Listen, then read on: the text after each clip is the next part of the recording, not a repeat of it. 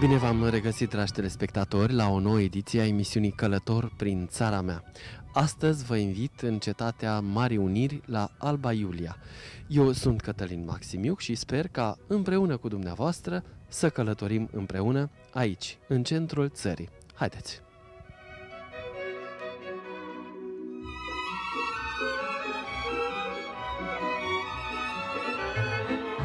Niciun dor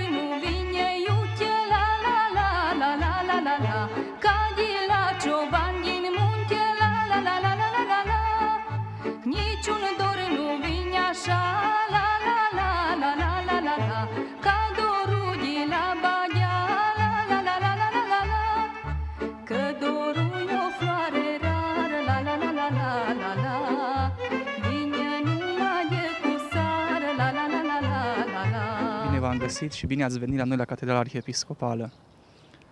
Uh, Este o bucurie și pentru noi și cred că și pentru tes- telespectatorii care ne urmăresc să vă avem, să avem ca și gazde astăzi aici în Alba Iulia, în această frumoasă și minunată catedrală a încoronării regelui Ferdinand și a reginei Maria.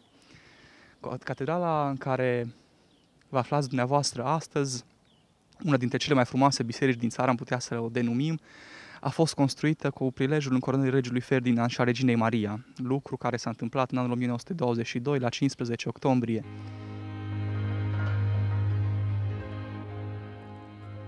La poarta Tatălui Ceresc, mulțimea în valuri vine, cu ochii plânși, cu pas sărac, cerând un colț de pâine.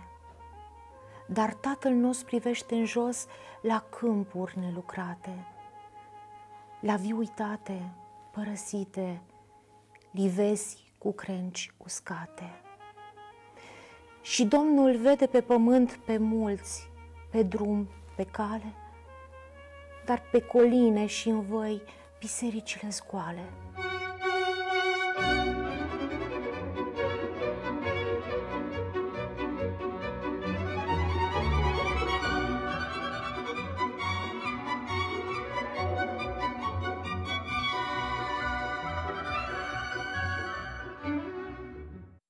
Am ajuns în uh, sala Marii Unirii, domnule Zgârciu.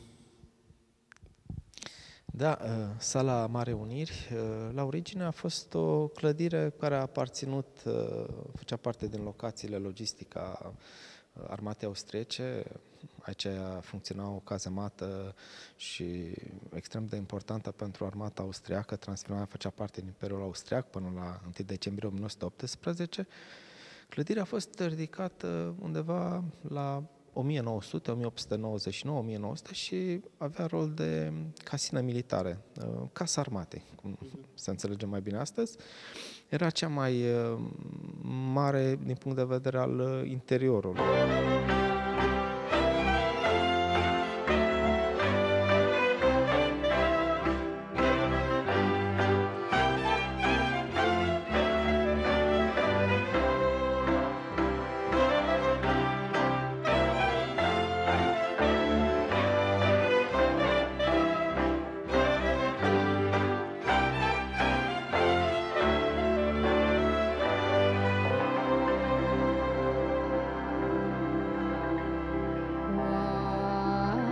picture